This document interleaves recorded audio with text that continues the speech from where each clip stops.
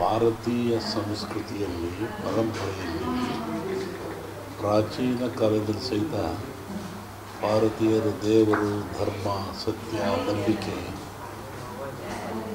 ವಿಚಾರದಲ್ಲಿ ಪ್ರಬುದ್ಧರಾಗಿರ್ತಕ್ಕಂಥವ್ರು.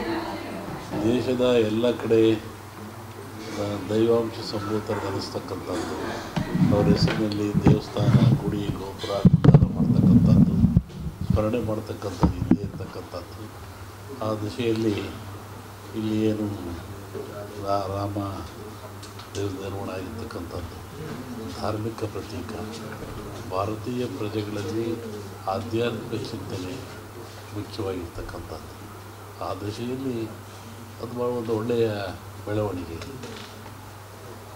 ಈ ಭಾರತ ದೇಶಕ್ಕೆ ಧಾರ್ಮಿಕವಾಗಿ ಒಳ್ಳೆಯ ಒಂದು ಸೂಚನೆ ಸಿಗ್ತದೆ. ದೋಣಿ ಒಳಗೆ ನೀರು ಇರ್ಬೇಕು ನೀರಿನಾಗ ದೋಣಿ ಇರ್ಬೇಕು. ನೀರುಳ ದೋಣಿ, ನೀರಿನ ದೋಣಿ ನೀರುಳ ದೋಣಿಯೊಳ ದೋಣಿ ಒಳಗೆ ನೀರಿದ್ರೆ ಮುಳುಗಿ ಹೋಗ್ತದೆ. ಹಾಗೆ ಯಾವುದೇ ರಾಜಕೀಯದಲ್ಲಿ ಧಾರ್ಮಿಕತೆಯನ್ನು ಬೆರೆಸೋಷ್ಟು ಸೂಕ್ತವಲ್ಲ. ಅದು ಬೆರೆಸ್ಬಾರ್ದು. ಅದಾದ್ರೆ ಒಳ್ಳೇದು ನಾವು ನನಗೆ ಹಿಂದೂಗಳು ಯಾರನ್ನ ಪ್ರಶ್ನೆ ಮೊದಲು ತೀರ್ಮಾನ ಆಗಬೇಕಲ್ಲ ದೇಶದ ಭಾರ- ಭಾರತೀಯರೆಲ್ಲ ಒಗ್ಗಟ್ಟರೆ ಎಲ್ಲರಿಗೂ ಒಳ್ಳೆಯದಾಗ್ತದೆ ದಶಾವತಾರ ಎಷ್ಟು? ವಿಷ್ಣು ಅವತಾರ ಮಾಡಿದ್ದೆಷ್ಟು ಹನ್ನೊಂದು ಆಗಲಿಲ್ಲ. ಮತ್ತು ಕಾಲ ಬಂದಾಗ ಹೇಳೋಣಂತ ಹೇಳಬಾರ್ದು ಅಂತ ಏನಿಲ್ಲ. ಇನ್ನೂ ಕಾಲ ಬಂದಿಲ್ಲ ಹೇಳೋದು. ಲೋಕಸಭೆ ಚುನಾವಣೆಯಲ್ಲಿ ಏನಾಗ್ಬೋದು? ಅದೇ ಕಣಪ್ಪ ಕಾಲ ಬಂದು ಹೇಳೋ ಇನ್ನೂ ಟೈಮ್ ಇದೆಯಲ್ಲ ಆಮೇಲೆ ಮೋದಿ ಮೋದಿ ಅವರಿಗೆ ಏನಾದರೂ ಮತ್ತೆ ಈ ಸಲ? ಸಾಮಾನ್ಯವಾಗಿ ನಮ್ಮ ಭವಿಷ್ಯ ಇದರಲ್ಲಿ ಎರಡು ಥರ ಇರುತ್ತೆ. ಒಂದು ಸಂಕ್ರಾಂತಿ ಮೇಲೆ ಬರುವಂಥ ಭವಿಷ್ಯ, ಇನ್ನೊಂದು ಯುಗಾದಿ ಮೇಲೆ ಬರುವಂಥ ಭವಿಷ್ಯ. ವ್ಯಾಪಾರ, ವಾಣಿಜ್ಯ, ಆನಂತರ ಅಭಿವೃದ್ಧಿ ಬಗ್ಗೆ ಸಂಕ್ರಾಂತಿ ಮೇಲೆ ರಾಜರಿಗೆ ಹೇಳ್ತಾರೆ. ಯುಗಾದಿ ಮೇಲೆ ಸಮಗ್ರ ದೇಶದ ಮಳೆ, ಬೆಳೆ, ಜನರು, ರಾಜರು ಏನಾಗ್ತದೆ ಅದನ್ನು ಯುಗಾದಿ ಮೇಲೆ ಬರ್ತದೆ.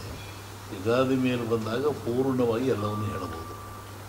ಅದರೊಳಗೆ ಈಗ ರಾಜಕೀಯವಾಗಿ ಹೇಳತಕ್ಕಂಥ ಸ್ತುತಿವಲ್ಲ ಸ್ವಲ್ಪ ಅಕಾಲಿಕ ಮಲೆಗಳೇ ಇದೆ.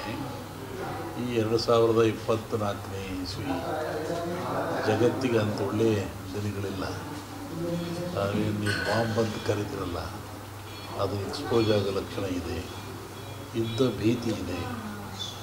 ಜನಗಳು ತಲ್ಲಣ ಆಗಂತ ಜಗತ್ತಿನ ಹೇಳ್ತಿರೋದು ನಡೆಯೋದಲ್ಲ ಮತ್ತು ಇದು ವಿಧಾನಗಳು ಆಮೇಲೆ ಅರ್ತ್ ಫಿಕ್ಸ್ಗಳು ಈ ಜಲಬಾಧೆ ಮತ್ತು ಜಾಸ್ತಿ ಇದೆ, ಜಲಕಂಟಕನೂ ಇದೆ. ಇದರಿಂದ ಜಗತ್ತಿನ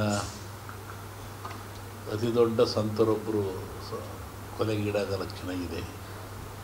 ಒಂದೆರಡು ಪ್ರಧಾನಿಗಳಿಗೂ ಸಾವಾಗ ಲಕ್ಷಣ ಇದೆ ಜಗತ್ತಿನಲ್ಲಿ. ಅಸ್ಥಿರತೆ ಇದೆ. ಯುದ್ಧ ಭೀತಿ ಇದೆ.